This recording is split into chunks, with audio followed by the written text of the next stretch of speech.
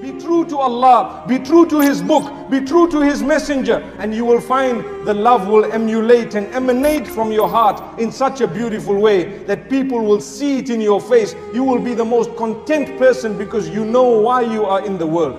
The most content from amongst us are those who know why they are here.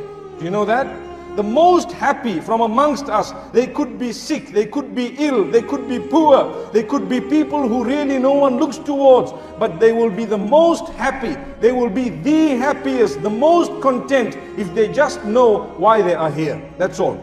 So this is why Allah makes it very clear in the Quran and in several places why he has brought us into this world and Muhammad sallallahu alaihi wasallam has explained it too.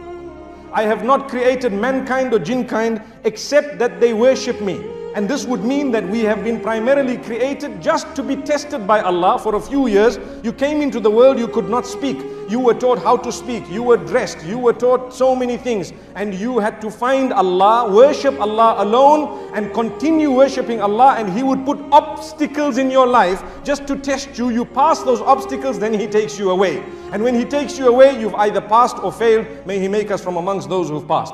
This is life. It is very, very short. Extremely short. Before you know it, you will be old. You may not be able to walk. Before you know it, you will be in your grave. But what would have happened? A lot of us come into the test and we think that this is eternal life. So we begin to lead our lives in a way that we transgress against Allah's commands until the day comes when we die and we realize what did I really achieve and what have I prepared for, for the journey from now on. May Allah subhanahu wa ta'ala bless us.